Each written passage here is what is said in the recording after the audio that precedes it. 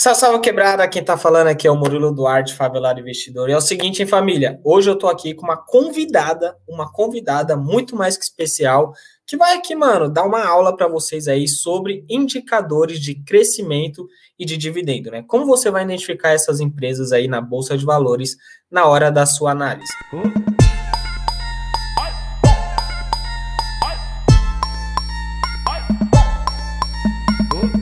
Quem tá aqui comigo é a Bia Aguilar aí. Chega, chega, Bia. E aí, Murilão, como é que você tá? E aí, tudo bem?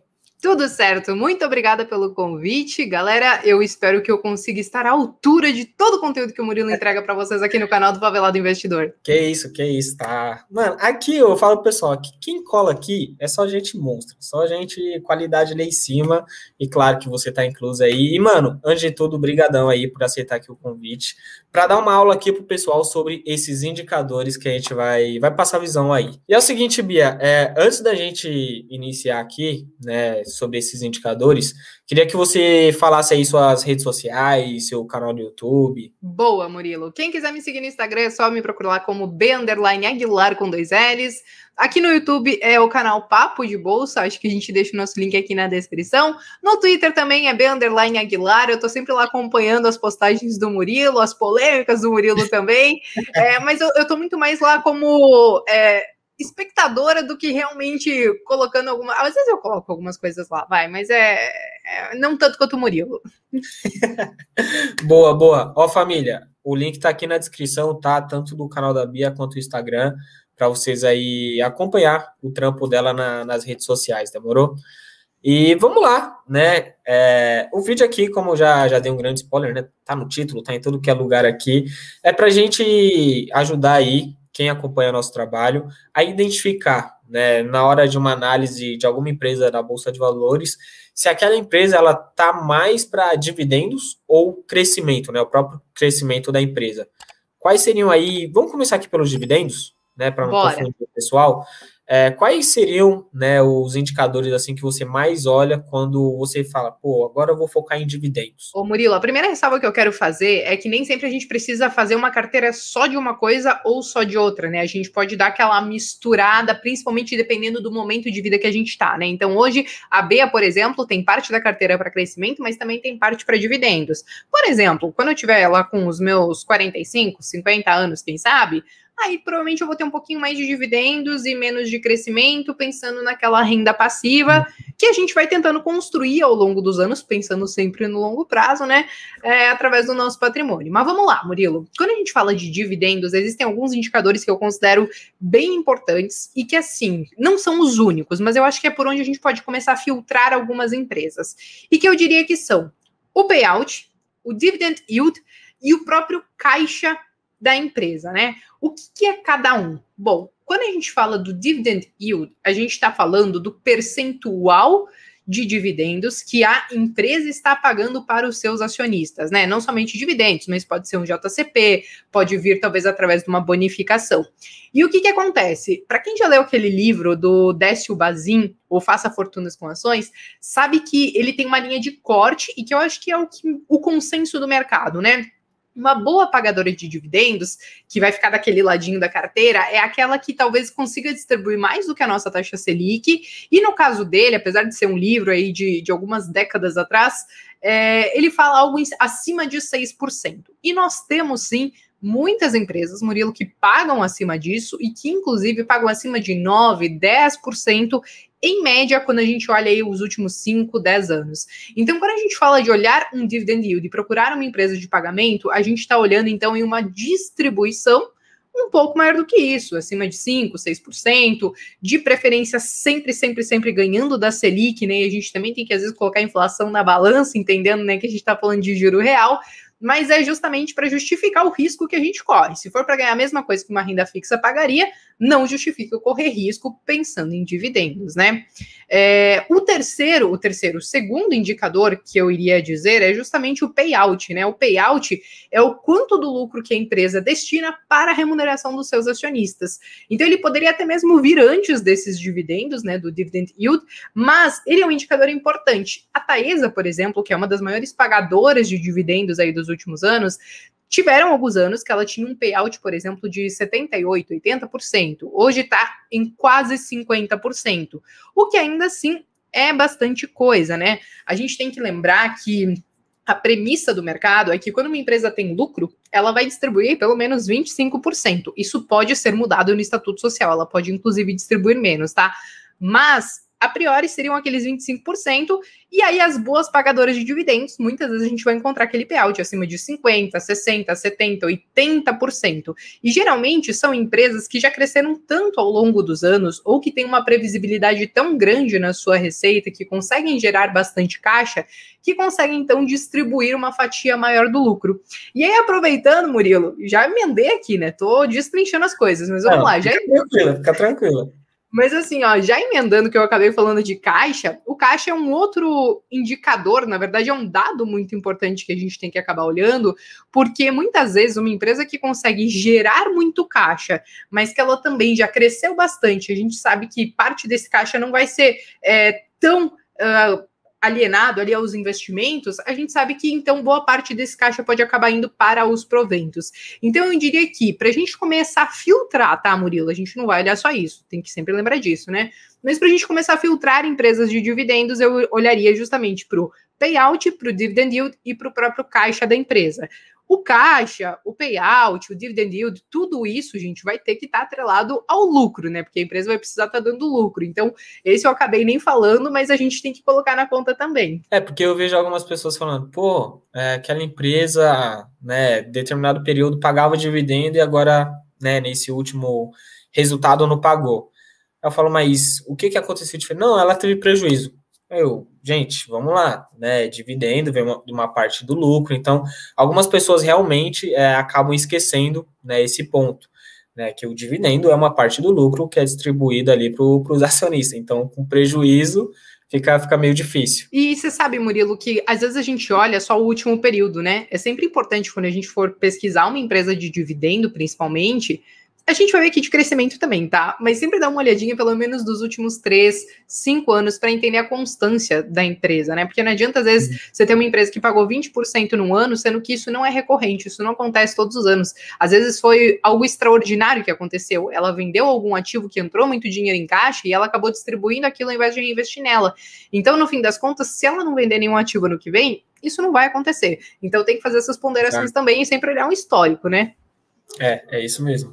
Bom, é, e dando continuidade aqui, Bia, aí eu gostaria que você falasse agora, né, quando a gente olha uma empresa de crescimento, né, quais indicadores aí você olha com, com um pouco mais de atenção? Boa, vamos lá. Eu acho que tem dois indicadores, só que um indicador a gente pode olhar várias coisas, tá? Que é o famoso KGR, e aí a gente vai gastar o inglês aqui, né? Que é o Compound Annual Growth Rate, enfim, preciso de um cursinho eu, de inglês. Eu já tinha travado. eu, eu preciso. eu preciso de um cursinho de inglês? Preciso, né? Já fiz por muito tempo, fiz também, funcionou não. Mas vamos lá. KGR, Murilo, ele é um indicador que ele pode mostrar para a gente o quanto a empresa tem crescido em alguns aspectos. O KGR ele traz uma média dos últimos anos desse crescimento. Ele é um indicador relativamente simples, é. Ele vai ter suas falhas, vai, porque às vezes você pode ter uma empresa que cresceu que nem formiguinha durante quatro anos, em um ano ela explodiu e esse um ano ele vai acabar puxando aí a média de crescimento dos outros anos também.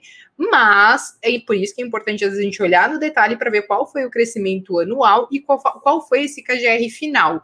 Então, por exemplo, quando a gente fala de KGR, a gente pode estar tá olhando qual foi o crescimento composto do lucro, do EBITDA, do patrimônio líquido, de vários indicadores. Eu digo que a gente sempre tem que dar uma olhadinha no EBITDA, que é muito importante para a empresa, no próprio lucro e também no próprio patrimônio, para saber se a empresa está conseguindo crescer. Quando a gente fala, por exemplo, de uma VEG da vida, né, que eu sei que tem muita gente que acaba investindo em VEG, ela é uma empresa que é considerada de crescimento rápido. E aí, quando a gente fala dessas growth stocks, que são as ações lá do Philip Fisher, né, que tem lá o, livro dele de ações comuns, lucros extraordinários, essas ações, às vezes é difícil fazer um valuation, porque elas têm um crescimento muito grande, né? E uma hora, é claro, que elas vão acabar reduzindo esse crescimento, mas tem como o investidor aproveitar esse boom, como muita gente aproveitou em VEG. Mas quando a gente fala do KGR de VEG, olhando o lucro dela dos últimos cinco anos, por exemplo, ele está ali em torno de 13%. Quando a gente olha dos últimos três anos, está acima de 15%. E quando que eu considero que uma empresa é de crescimento rápido, Murilo? Quando ela tem esse crescimento acima de 10%. Então, muitas vezes a gente vai olhar, por exemplo, um Itaú, um Banco do Brasil, às vezes eles vão estar tá crescendo ali uma média de 4%, 5%, 6%, que são empresas que já são super grandes, elas já cresceram bastante e talvez agora eles estão na fase de distribuir dividendos. Mas antes disso, óbvio que eles podiam crescer um ritmo um pouco mais acelerado. Agora, um outro ponto muito importante do crescimento, Murilo, é justamente a gente olhar para os planos de investimento a gente precisa entender que essa empresa ela está crescendo porque ela está fazendo bons investimentos e porque ela está despendendo caixa para isso. E é aí que a gente pode olhar, por exemplo, para o capex, né? O capex ele também é um número que a gente acaba extraindo dos balanços, né? Dos números que as empresas acabam divulgando e que ele vai indicar que é o quanto a empresa está despendendo ali do seu patrimônio, do seu lucro em si, né, para conseguir fazer investimentos e crescer. Então, muitas vezes uma empresa ter um capex alto em relação, por exemplo, ao quanto ela gerou de caixa e tudo mais, isso é importante para a gente entender que, olha, ela realmente está investindo nela e ela está pensando em crescer. Então, quando a gente alia, por exemplo, o CAPEX com esse KGR, a gente começa a fazer um filtro do que são empresas de crescimento rápido. É claro que os riscos de uma empresa de crescimento são um pouco maiores, né, Murilo? Porque a gente entende que às vezes pode ter eventos soprando a favor. Por exemplo, vamos hum. falar de Vale. Vale cresceu absurdamente aí nesses últimos anos, está com caixa gigantesco, anunciou recompra de ações, inclusive, de tanto dinheiro que ela não sabia nem o que fazer com tanto dinheiro. E claro que tem ventos a favor. A gente está vivendo um ciclo de commodities aí absurdo. Uh, o preço de minério de ferro subiu bastante, a gente viu o próprio barril do petróleo subindo bastante, e essas empresas comoditizadas conseguem aproveitar essa onda, né? É isso mesmo. Então, uma, até uma dica aqui pro pessoal, né? Pô, olha como que o mercado, né, o segmento dessa empresa que você está analisando, está se comportando atualmente, né? E qual que é a perspectiva que o, o investidor ali, né, que está olhando aquela empresa, tem para frente, né, para o futuro. Pô, que nem você falou agora da Vale, será que vai continuar assim o resto da vida? Né? Será que ela vai se, se inovar? Então, sempre aí abrir um, um pouco o olho quanto a isso. E Bia, é, só para ir finalizando aqui, eu gostaria aí que, que você falasse né? Não, não com caráter de, de indicação. Jamais. Vamos dar indicação sim agora. Não, mentira, brincadeira. é, mas assim, uma, uma empresa né, que, que você vai colocar aqui para o pessoal olhar, né? Olhar esses indicadores e depois o pessoal vai lá, entra em contato com você no, no seu Instagram ou comenta os seus vídeos para identificar se a empresa é de crescimento ou de dividendo. Né? É um desafio que eu estou propondo aqui para o pessoal olhar esses indicadores aí tudo junto, né? Para a pessoa olhar ali bater o olho e falar, pô, eu acho que é de dividendo, eu acho que é de crescimento. Até porque, na minha opinião, que é um exercício para o pessoal aqui, já dá uma, né, uma pinta de, ah, tô, tô analisando aqui uma empresa sozinho, bem, bem assim. Boa! Eu vou falar então uma que eu acabei não trazendo para o vídeo, que eu falei de Taese e falei de VEG, né? Uma para cada lado. Então agora eu quero falar da EDP ou Energias do Brasil, né? Deem uma entradinha Bom. lá, olhem esses indicadores, olhem o. Enfim, não vou falar os indicadores, porque talvez eu já esteja indicando do que, que ela é. Mas enfim, deem uma olhada e depois conta pra gente do que, que é, é os, a IBR. Aqui, isso, todos os indicadores que a gente mencionou aqui, o pessoal dá uma olhada lá. E depois, pessoal, manda aí lá no, no, Instagram da Bia ou comenta os vídeos dela também aqui no canal do YouTube. Lembrando que o link está na descrição, tá? E depois a Bia, né, faz lá um stories falando, pô, aquela empresa que eu falei no vídeo com o Murilo é X. Ponto. Boa. Fechou? Deixa para mim. Bom, Fechou. Boa. Bom, Bia, brigadão aí por comparecer aqui no canal. Foi uma aula, eu falei, mano, é sempre uma aula aqui, que, que você já chega aqui. E de verdade, brigadão aí. E tamo junto, né? Só fala aí de novo suas redes sociais pro pessoal não, não esquecer. Boa, Murilão, mais uma vez, muito obrigada. É sempre um prazer poder trocar uma ideia com a sua audiência e com você mesmo, né? Mesmo que virtualmente, porque eu não estou conseguindo muito ir para São Paulo. Mas vamos lá, pessoal. Para quem não pegou minhas redes sociais no início, me acompanhem lá no Instagram, B Aguilar com dois L's, e também aqui no YouTube, no canal Papo de Bolsa. Murilo, muito obrigada. Até a próxima. Boa, tamo junto. Até a próxima. Valeu. Uh.